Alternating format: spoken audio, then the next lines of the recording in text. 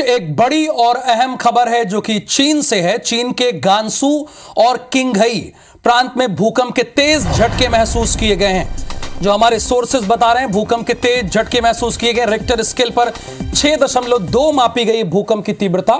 भूकंप से अब तक 111 लोगों की मौत हुई है।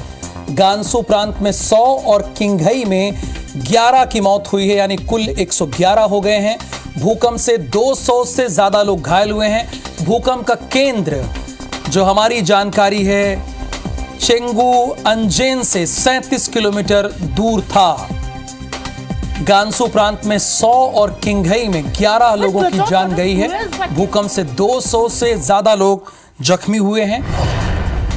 एक बड़ी खबर चीन के गांसू और किंगहई प्रांत में भूकंप के तेज झटके महसूस किए गए हैं।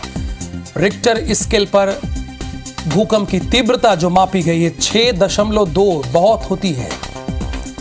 और छह दशमलव दो तबाही मचा सकती है।